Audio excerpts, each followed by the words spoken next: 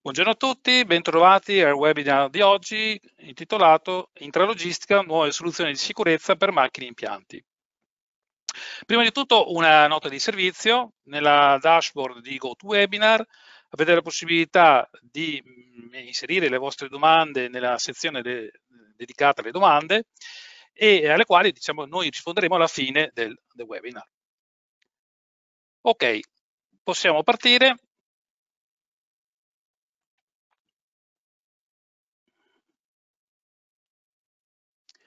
Allora, io sono Marco Pilizzaro, Division Manager Components di Pilz Italia, mm, ormai sono quasi 19 anni che sono in Pilz, come oggi c'è eh, Alessandro, al quale passo la parola. Buongiorno a tutti, io sono Alessandro Casalini e da dieci anni ricopro il ruolo di Sales Engineer Emilia Ovest per Pilz. Con, cominciamo con la, la, presentazione di Pilz. Pilz Italia è un'azienda che eh, offre sistemi e soluzioni per quanto riguarda la functional safety. In generale praticamente possiamo offrire anche servizi per quanto riguarda l'analisi di rischi, vi dicendo, e in particolar modo diciamo, eh, ha una gamma completa di prodotti che permettono di realizzare varie tipologie di applicazioni. Per quanto riguarda poi la consulenza, noi abbiamo la possibilità di fare tutto quello che è il, il, il risk assessment, il safety concept, il safety design, l'implementation e anche la validazione delle funzioni di sicurezza. In particolar modo possiamo anche andare a fare tutta una serie di formazioni, di training, che permettono poi anche di eh, creare diciamo, conoscenza e dare valore al cliente. In particolar modo voglio sottolineare la possibilità di avere anche tutta una serie di certificazioni tipo CMSE, il CECE, il CFS, il CSA, che vengono eh, applicate diciamo, tramite eh, l'organo TUV. Ultimo, eh, ulteriore diciamo, servizio che possiamo eh, fornire è il servizio per la cyber security. In particolar modo possiamo offrire il security assessment, il security concept e la security verification. Vediamo oggi quella che è l'agenda. Nella prima parte del, del, del, nostro webinar parleremo di safety e security e andremo a, a, toccare quelli che sono gli aspetti della sicurezza e della security nell'ambito intralogistico. Nella seconda parte parleremo di magazzino e traselevatori, dove avremo la possibilità di approfondire alcune funzioni di sicurezza e alla fine di questa parte faremo una piccola demo. Nella, terza e ultima parte praticamente avremo la possibilità di parlare delle funzioni di sicurezza associate alla GV e anche qui avremo la possibilità di avere una demo conclusiva. Alla fine avremo chiaramente risponderemo alle domande. Partiamo. Ok, eh, nell'ambiente intralogistico chiaramente possiamo trovare varie tipologie di eh, eh, impianti e macchine, diciamo, no? Possiamo provare palettizzatori, sistemi di confezionamento, sistemi robotici, apparecchiati di, di sollevamento e via dicendo. In particolar modo, diciamo, eh, volevo sottolineare il fatto che comunque in questo ambiente comunque ci sono due aspetti duali, l'aspetto safety e l'aspetto security. In particolar modo ci sono chiaramente l'aspetto safety riguarda tutti quelli che sono i componenti eh, le varie macchine, diciamo, quindi i funghi di emergenza, la gestione delle elettroserature, eh, tutte quelle che sono le gestioni di particolari eh, macchine, per esempio, non so, ci sono normative per quanto riguarda per esempio la GV, la ISO 3691-4, oppure per esempio le normative che riguarda perché i magazzini automatici, le N528. In maniera parallela comunque abbiamo tutta una serie di normative che trattano la parte security. In particolar modo quello che vorrei sottolineare è chiaramente che soprattutto sulla security negli ultimi mesi, negli ultimi anni abbiamo eh, tutto una, un sistema diciamo, di cambiamenti, diciamo, no? perché comunque l'aspetto security è un aspetto molto importante. In particolar modo volevo sottolineare quello che è tre molti, aspetti molto importanti, tre eh, punti molto importanti. Per esempio, eh, l'aspetto security si trova presente in queste tre, eh, queste tre eh, entità, diciamo, no? Eh, quello che è il regolamento macchine, per esempio, dopo, quello che è la, la nuova direttiva DIS 2 e quello che è il Cyber Resilient Act. In particolar modo quello che è il regolamento macchine, eh, voi sapete chiaramente introdurrà, sarà introdotto praticamente il 20 gennaio 2027, è stato chiaramente pubblicato nel giugno 2023 e introduce quelle che sono le eh, due punti importanti, diciamo, l'aspetto diciamo, della protezione contro la corruzione, quindi contro diciamo, gli eventuali tacchi esterni diciamo, da, da dall'internet, da quello che è la connessione a eventuali eh, entità eh, malevole, diciamo, e pone in risalto il discorso che comunque bisogna porre chiaramente una protezione per quanto riguarda quelle che sono le entità terze che possono creare delle eh, disfunzioni delle macchine in sostanza.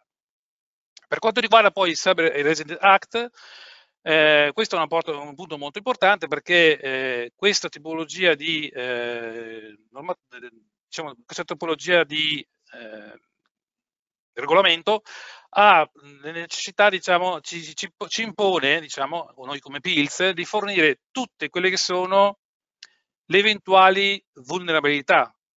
Nel momento in cui trovo una vulnerabilità, la devo comunicare al mio cliente e eh, il cliente deve chiaramente poi andare a installare quelli che sono gli eventuali update di security che io vado a fornire per eh, correggere quelle che sono le vulnerabilità. Ovviamente, chiaramente, interna a Pilz, per esempio, devo avere eh, tutto una un, un sistema chiaramente che deve essere di sviluppo dei miei prodotti, del mio software praticamente, che sia validato secondo il CRA. E poi c'è il discorso della, della NIS. La NIS 2 è una, un direttivo molto importante che eh, pone in risalto, eh, che, eh, pone in risalto le, l'aspetto della cyber security e, impone diciamo, il risk assessment della, da, dal punto di vista security delle, di quelli che sono gli end user, per esempio, no? di tutta la catena diciamo, di quelli che sono e anche i fornitori degli, degli end user, perché chiaramente se devo fare dei lavori sugli end user devo, non devo creare danno a quello che è l'end user. No? Chiaramente non è applicata a qualsiasi end user, deve essere end user che eh, abbiano un minimo di, di, di, dimensione, minimo 50 dipendenti oppure uh, un fatturato superiore a 10 milioni, però chiaramente eh, ci sono degli obblighi dell'end user su particolari eh, tipologie di end user, eh, l'obbligo di andare a comunicare eventuali incidenti dal punto di vista della security e di, chiaramente devono, devono, entro 72 ore notificare alle, alle autorità diciamo, che è avvenuto questo incidente. Sempre collegandomi chiaramente a questa tipologia di, di, di programmatiche legate alla NIS 2, quindi proteggere quello che è l'impianto, eh, Pilz offre la possibilità di avere delle soluzioni per l'autenticazione e l'autorizzazione. Diciamo, no? Sono soluzioni RFID, parliamo delle soluzioni BitReader, che può essere in formato diciamo, con pulsanti oppure senza pulsanti, con badge o senza, eh, oppure con chiavi RFID, chiaramente. Eh, questi BitReader possono essere, eh, possono essere eh, programmati tramite web server e offrono la comunicazione Modbus TCP, REST API oppure OPC UA. Le chiavi possono essere di diverso tipo, possono essere o programmabili o con permesso fisso, oppure colorate per identificare il vario eh, livello diciamo, di eh, permesso. E in più diciamo, c'è la possibilità di avere eh, delle soluzioni con badge o sticker che si possono attaccare su, su badge esistenti e come novità praticamente abbiamo la possibilità di gestire anche badge di terze parti che rispondono a quelli che sono il protocollo ISO IEC 14443-A oppure ISO IEC 15693. Questo chiaramente permette di andare a fare particolari applicazioni, diciamo, no? In particolar modo, per esempio, tramite la mia chiave RFID posso andare a eh, creare cinque situazioni particolari, per esempio.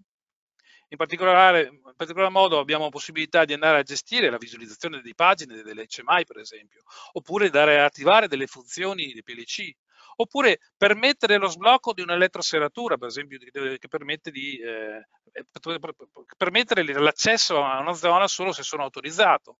E in particolar modo posso anche andare a gestire quelli che sono la modalità operativa con autorizzazione, oppure poi vedremo la soluzione key in pocket.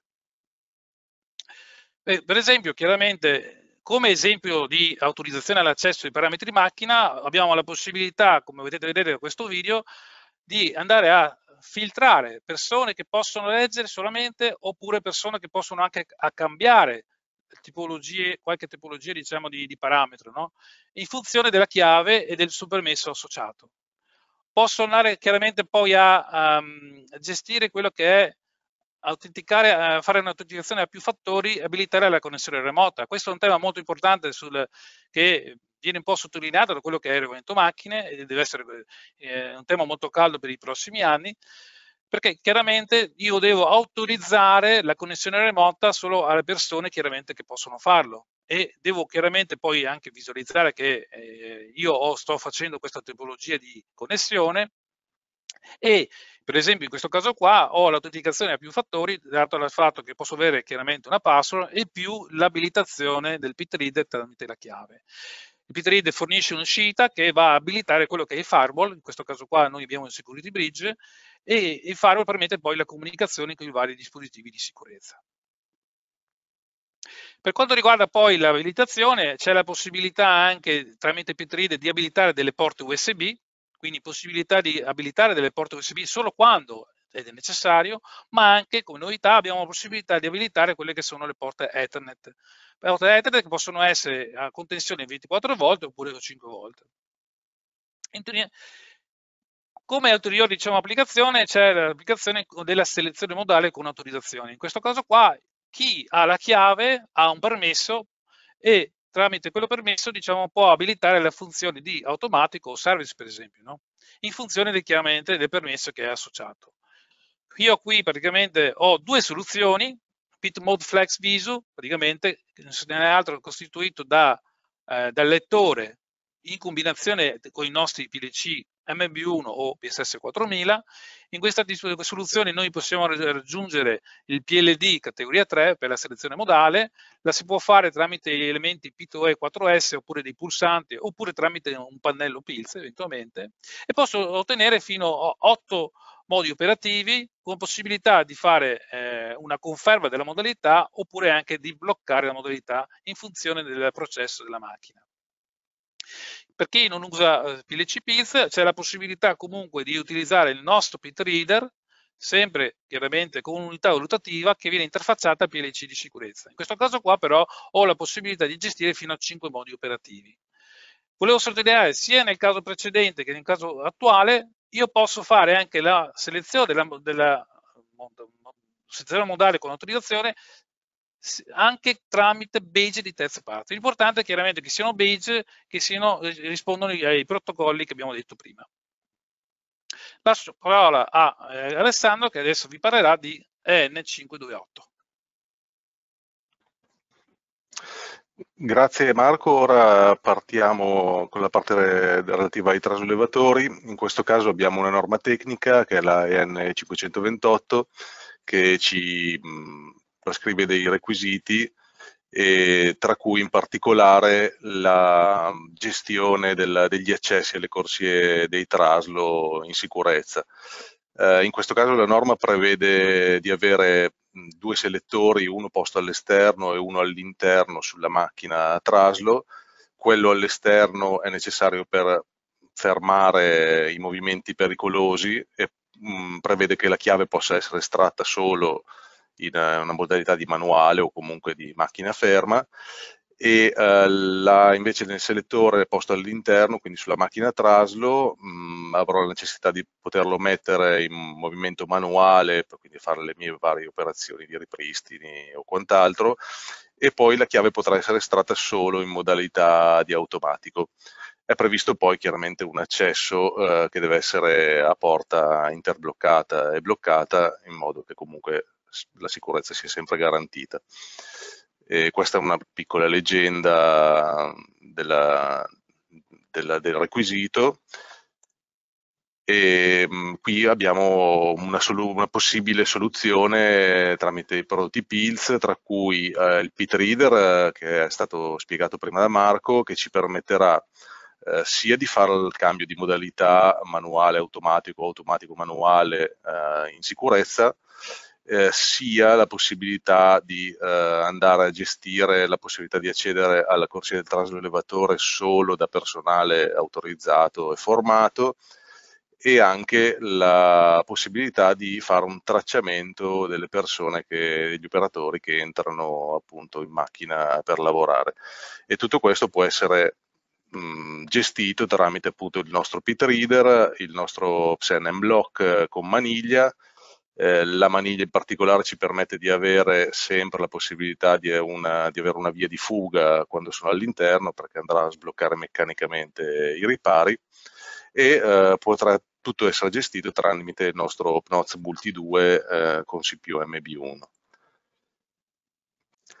In questa slide eh, vediamo la soluzione Key in Pocket, che è appunto quella che ci permette di eh, gestire in modo sicuro, con un uh, livello di sicurezza PLD categoria 3 eh, certificato da TUFSUD, eh, l'accesso la, di più persone all'interno di un'area di lavoro, in questo caso sarà la corsia del traslo, e eh, tenere traccia di queste persone che entrano e fare in modo che la macchina non possa ripartire fino a che tutte non hanno lasciato l'area pericolosa. Qui abbiamo un piccolo video di, di esempio dell'applicazione, dell vediamo che l'operatore si, si identifica e verrà autorizzato a mettere in stop la macchina, passerà poi al pitgate box uh, sul riparo e andrà a identificarsi a fare il login nel, nel, sistema e quindi verrà registrato l'accesso del personale della persona numero uno potrà richiudersi all'interno e quindi nessuno potrà rientrare a meno che non arrivi un secondo operatore che ha le, la possibilità di sbloccare, rientrare e fare sempre la stessa procedura di login. Quindi avremo due operatori all'interno una volta eh, finite le operazioni, un'altra cosa interessante è che si può diciamo, uscire da, una, da, un accesso posizionato in una posizione differente, l'operatore 2 va a fare il suo logout. E il, quando l'operatore 1 dovrà scendere, dovrà uscire, avrà la possibilità anche di andare a fare un check in zone cieche, diciamo, e quindi tramite sempre chiave e pulsante andrà a confermare che nessuno è presente e eh, verrà attivato un timer entro cui lo stesso operatore dovrà uscire e andare a confermare il, il reset della macchina e far partire il riavvio.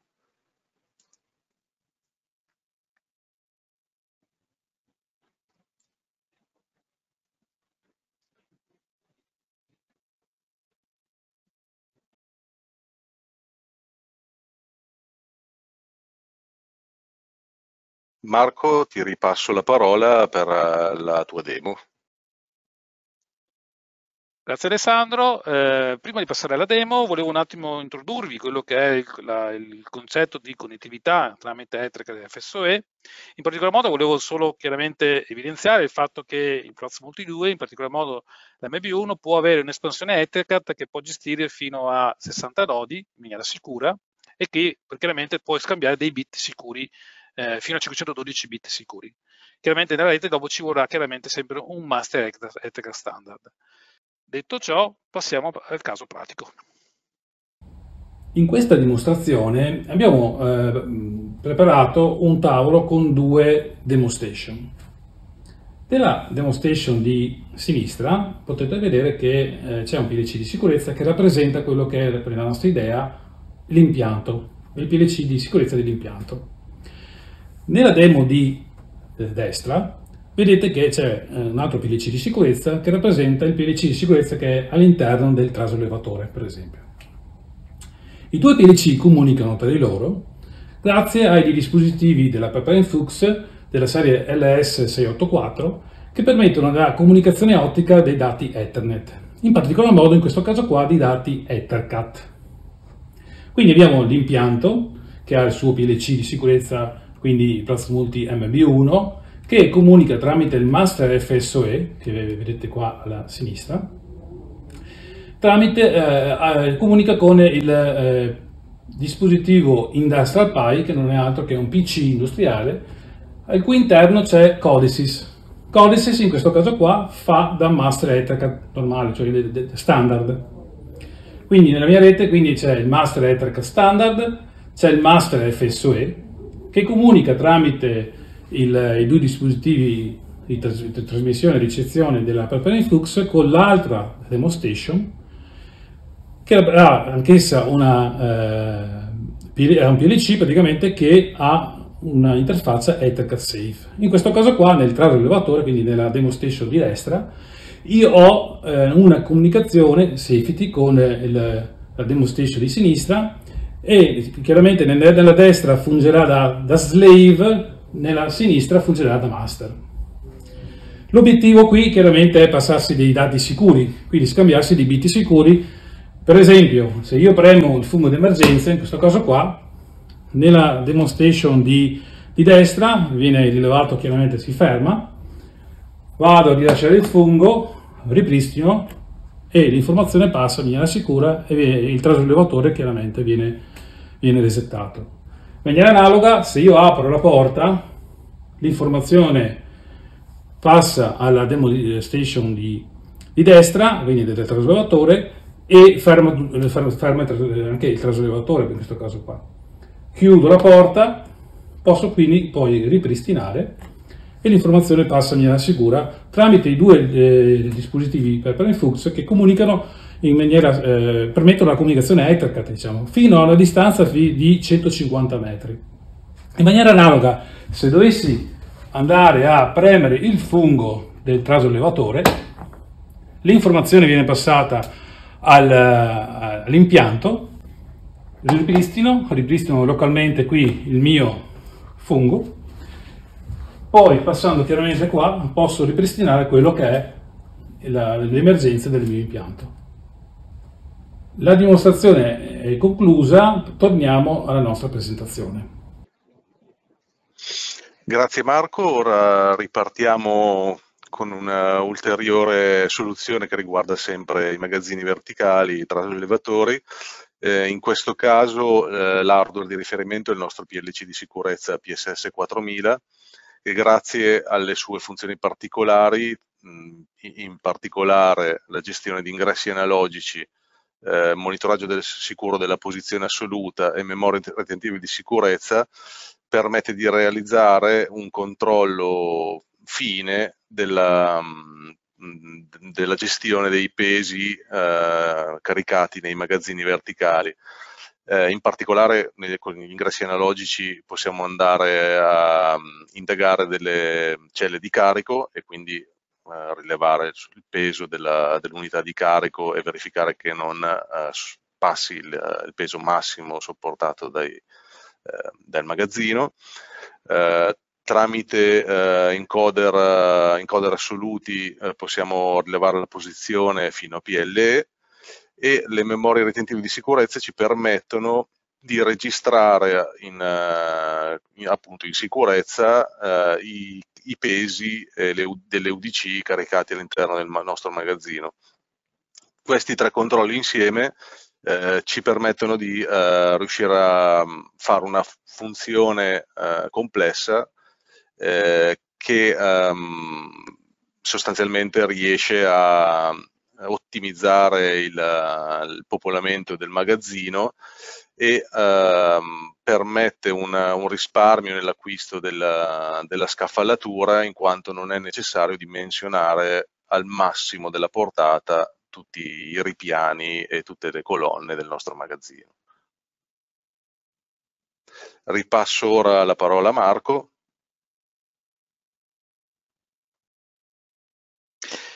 Grazie Alessandro. Eh, dal punto di vista pratico ora parleremo della ISO 3691-4, eh, non è altro che la, eh, in sostanza la norma che regolamenta quelli che sono i carrelli industriali a guida autonoma in particolar modo quello che possiamo dire su questa norma è che l'ultima pubblicazione, pubblicazione del 2023 è divisa in sei capitoli e cinque annessi. In particolar modo diciamo, dobbiamo sottolineare il discorso del, capitolo 4 che ci dà l'elenco delle funzioni di sicurezza e su una tabella 3 devono definiti tutti quelli che sono i PL eh, da raggiungere in questi casi qua. Quali sono le funzioni di sicurezza considerate nel capitolo 4? Qui ne vediamo alcune, per esempio quello che volevo sottolineare di più era quella per esempio del controllo di velocità o in particolar modo quello dell'emergenza eh, per esempio, oppure la gestione del eh, rilevamento delle persone nel, nel cammino della GV. E guarda caso, anche qua c'è sempre il concetto di modo operativo. Infine, diciamo, parleremo anche di quello che è la, eh, le varie richieste diciamo, per quanto riguarda le zone operative della, delle, delle, delle, dove deve, deve, agire la GV, diciamo, il carrello industriale. Vediamo un attimo quelle che sono le principali, quindi allora, eh, controllo velocità è necessario perché chiaramente eh, nel caso in cui il, quello che è il carrello vada più veloce di quello che è eh, la velocità definita dal, dal, dal costruttore, deve, deve, stoppare tutto quanto. In realtà dobbiamo anche considerare il fatto che il discorso velocità è molto importante, vedremo in funzione della zona operativa in cui la GV lavora, e in particolar modo anche della stabilità del carrello, nel senso che chiaramente se io vado troppo veloce e vado a curvare, per esempio, se, sono, se vado troppo veloce il carrello potrebbe ribaltarsi, per esempio. No? Poi il concetto poi della rilevazione delle persone eh, è un, molto importante, in particolar modo la norma, come vedete, eh, considera vari casi, non so, nel caso in cui questi, diciamo, rilevamento possa essere eh, fatta un'azione di booting o un'azione di override o in particolar modo, diciamo, eh, dipende molto chiaramente dalla tipologia di eh, rilevazione che viene fatta. Chiaramente la norma parla di bumper, per esempio, o virtual bumper. Virtual bumper chiaramente sono quelli che sono i laser scanner in generale. No? Laser scanner praticamente che sono eh, una proposta di PIZ, nel senso che noi abbiamo la possibilità di avere il nostro dispositivo Scan, può essere applicato a quelli che sono i, carrelli a, a automazione autonoma, chiaramente esiste la possibilità di avere eh, della connessione tra di loro, per esempio di un master più tre slave, e la possibilità chiaramente di gestire quelle che sono le aree in maniera dinamica in maniera tale da, eh, in funzione della velocità, posso cambiare quelle che sono le varie zone set, le varie aree di, sicurezza praticamente.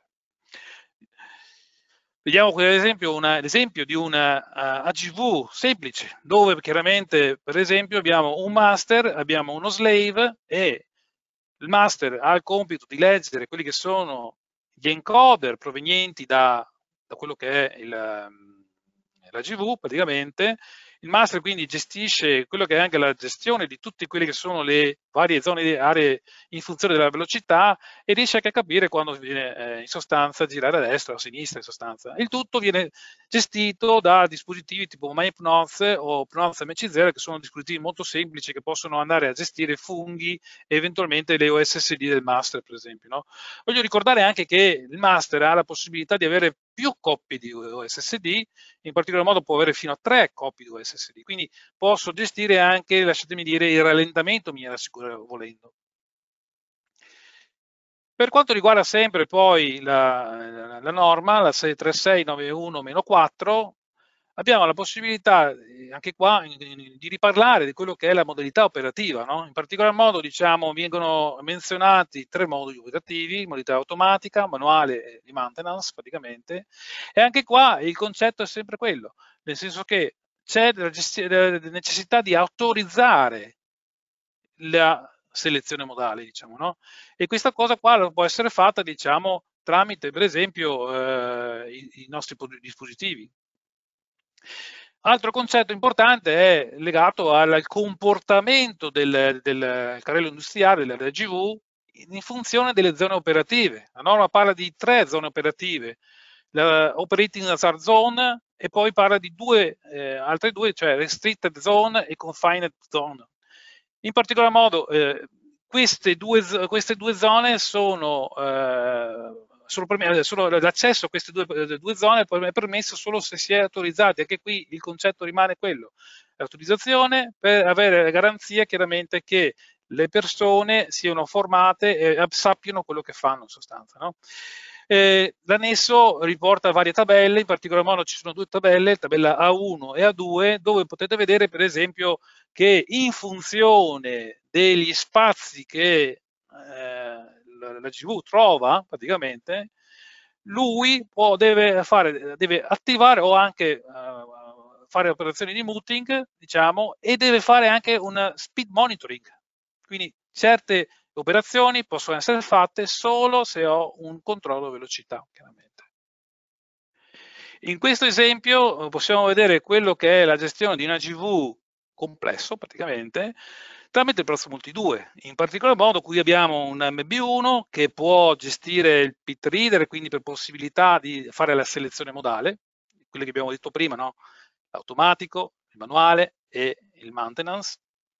Possibilità di visualizzare lo stato delle, delle GV tramite delle, delle uscite, gestione delle funghi. E in particolar modo in questo caso qua abbiamo che il Prox Multi 2, l'MB1, ha un'espansione dedicata che va a ospitare quelli che sono gli encoder, i due encoder praticamente, e vedremo poi la possibilità di, di fare un confronto tra i due encoder. Il laser scan viene connesso al Prox eh, Multi 2 e la selezione delle aree viene fatta tramite cablaggio dal Prox Multi 2 sugli ingressi del laser scanner. Oltre a questa cosa qua, chiaramente in questo ambiente troveremo chiaramente dei dispositivi di navigazione, dei PC di navigazione, che potrebbero leggere comunque le informazioni eh, tramite UDP, quindi può leggere le, quelli che sono gli oggetti, gli ostacoli che trova nel percorso tramite via UDP dal laser scanner e chiaramente i, con l'aspetto security una cosa importante, la connessione a questo dispositivo viene, viene regolamentata dal security bridge. Security Bridge chiaramente che ha l'obiettivo di creare un firewall praticamente che permette di eh, selezionare le, le, connessioni diciamo, alla, ai dispositivi Ethernet, che in questo caso sarebbe l'ASA Scanner e, e Proximity 2. Passiamo ora alla demo dove avremo la possibilità di vedere eh, come possono essere settati i vari blocchi di sicurezza nel Proximity 2 tramite il Proximity Configurator 11.4.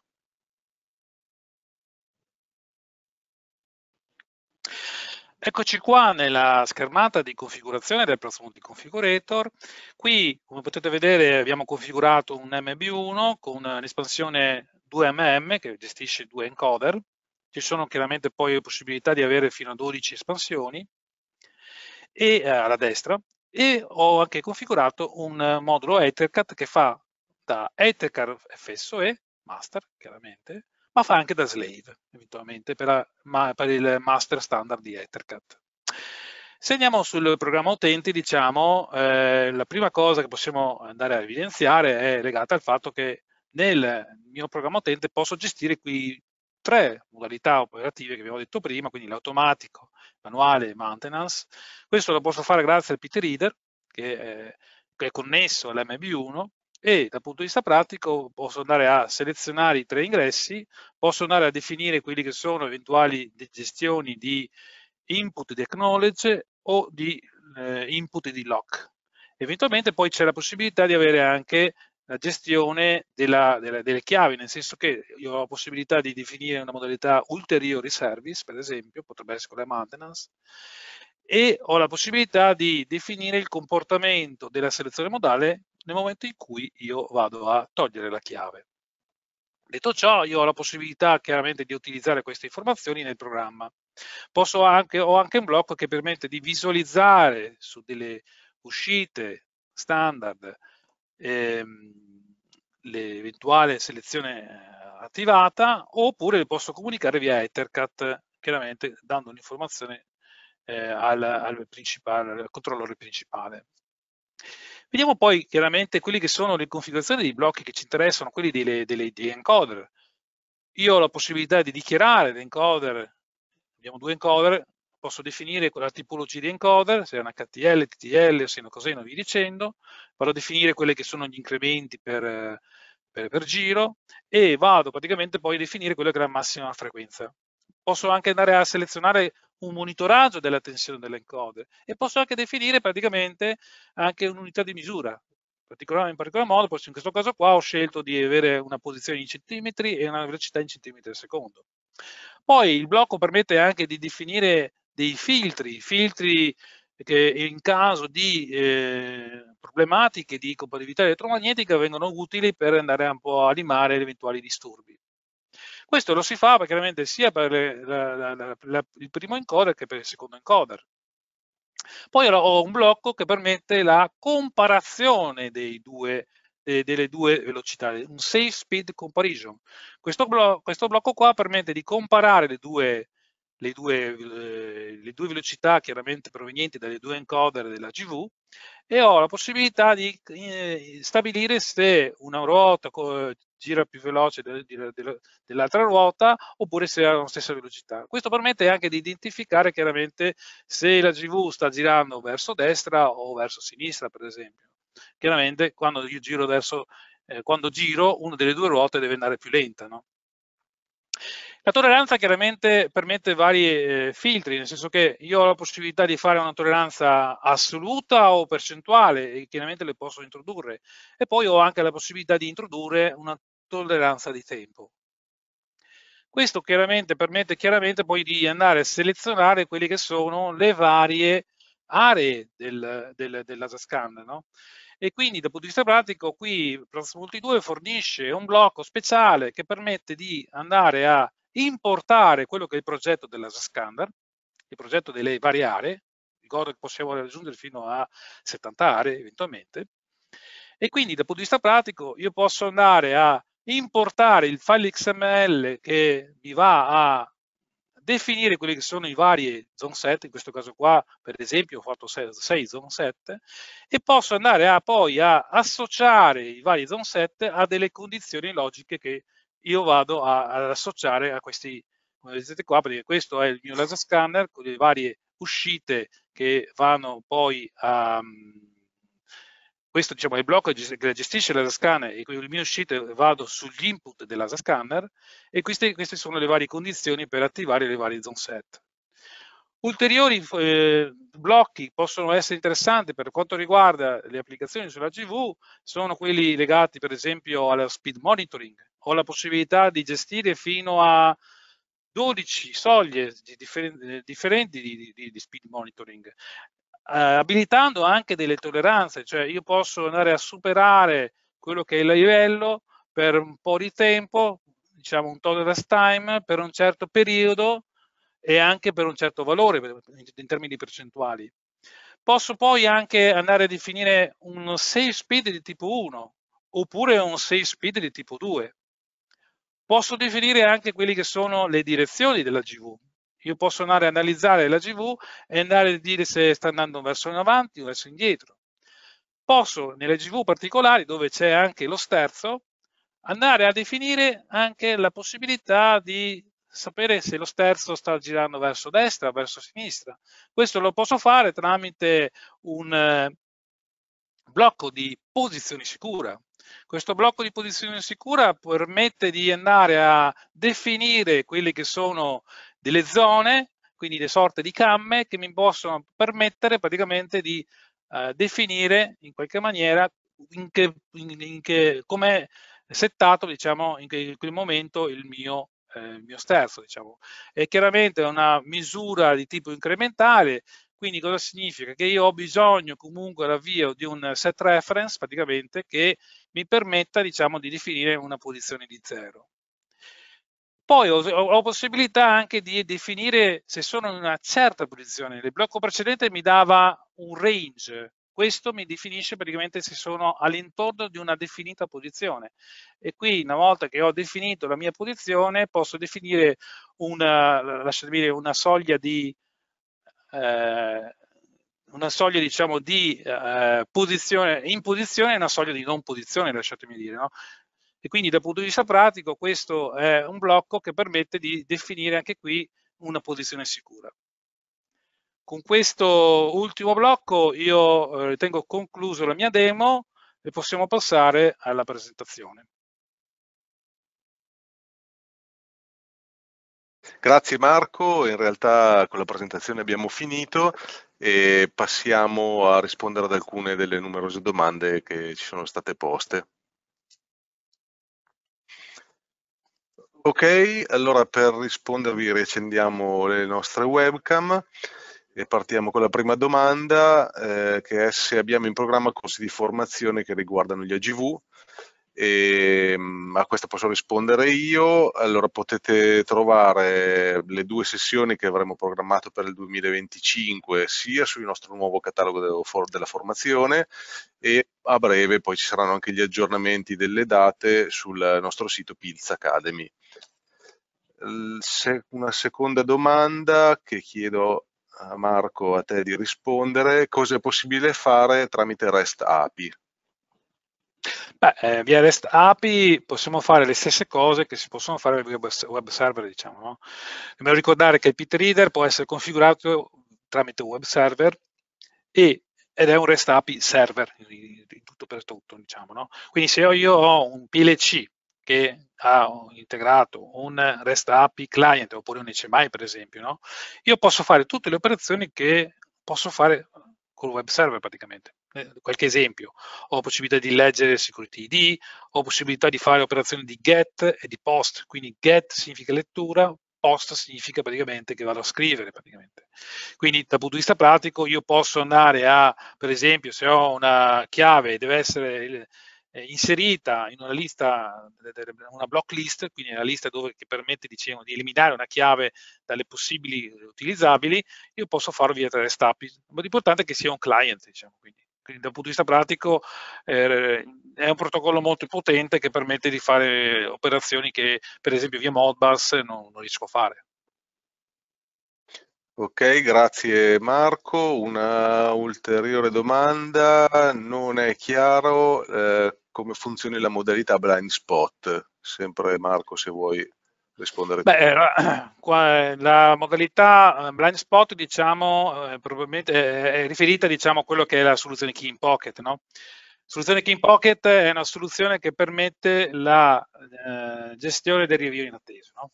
Negli impianti dove ci sono delle zone cieche, no? blind sta per cieco, io ho la possibilità di lavorare con un, un reset sequenziale, cioè l'operatore va all'interno, verifica che tutto va a posto, All'interno del Broth Multi c'è questo blocco, il blind spot, che eh, riceve diciamo, segnale diciamo, da un pulsante che l'operatore deve premere, e quindi dopo aver fatto la verifica della zona, della cieca, e lui ci lancia un timer, entro questo eh, tempo diciamo, che viene definito dal blocco, devo andare a fare un secondo reset per chiudere poi il, il ciclo diciamo, di ripristino della, della, della della, dell'applicazione, diciamo, della, della, della, macchina. E quindi chiaramente eh, chi deve fare questa cosa qua è l'ultimo che eh, lascia diciamo, la zona pericolosa, in sostanza. Grazie Marco. La prossima domanda, quanti lettori può gestire Pnoz Multi 2? Eh, allora, il, il, Multi 2 in particolare eh, sarà necessario utilizzare la CPU eh, Pnoz MB1 e ha questo dispositivo ha la possibilità di gestire fino a quattro lettori pit reader collegati contemporaneamente. L'altra successiva domanda, come avviene il rilevamento della posizione assoluta con il 4000? Eh, allora il, il PLC PSS 4000 può gestire la posizione assoluta tramite la connessione con encoder con protocollo SSI. Un'altra domanda a cui risponderò sempre io è eh, relativa a informazioni eh, sul, sul, sovradimensionamento degli scaffali, cioè che cosa intendiamo.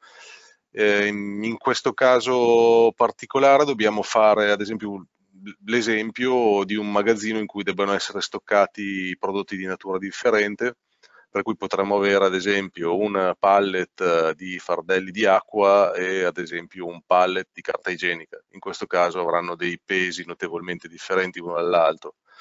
Una prima alternativa è dimensionare tutti gli scaffali al massimo della loro portata e quindi eh, andranno tarati sul peso massimo che andrò a stoccare, mentre invece con la nostra soluzione abbiamo la possibilità di gestire in modo flessibile il peso e in particolare in modo sicuro e quindi possiamo eh, declassare sostanzialmente la portata della, del mio magazzino e quindi un declassamento della portata significa un acquisto di materiali meno costoso e quindi un risparmio, sempre però eh, se, senza abbassare i livelli di sicurezza dell'impianto.